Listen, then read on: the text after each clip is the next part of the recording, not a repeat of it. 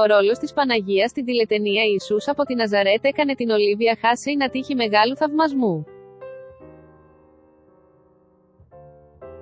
Σε ηλικία 7 ετών έφυγε με τη μητέρα της στην Αγγλία και παρακολούθησε από πολύ μικρή μαθήματα ηθοποιίας και ο Τζεφιρέλη την ανακάλυψε νωρίς.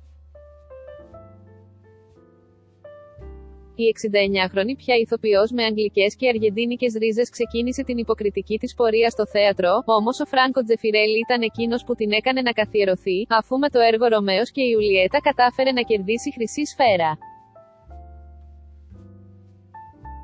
Η μεγαλύτερη, όμως, επιτυχία ήρθε το 1977 στη δημοφιλή σειρά του Ιησού από τη Ναζαρέτ που κάθε χρόνο προβάλλεται μέσα από τον Αντένα, με εκείνη να υποδίεται την Παρθένο Μαρία, σε ηλικία 26 χρόνων. Η Ολίβια Χάσεϊ έχει κάνει τρεις γάμους και έχει αποκτήσει δύο γιους και μία κόρη.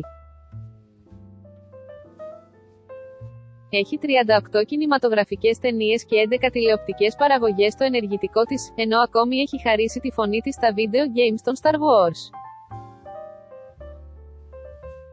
Έχει αποσπάσει βραβείο David D. Donatello Awards για τον Ρωμαίο και την Ιουλιέτα του 1969, αλλά και Golden Globe για το ίδιο έργο, ενώ ο τελευταίος της ρόλος ήταν αυτός της μητέρας Τερέζα. Η ερμηνεία της στο δημοφιλές σύριαλ που κάθε χρόνο τέτοιες μέρες καθυλώνει το κοινό, ήταν εντυπωσιακή, με την ίδια να έχει δεχτεί πολύ καλές κριτικές.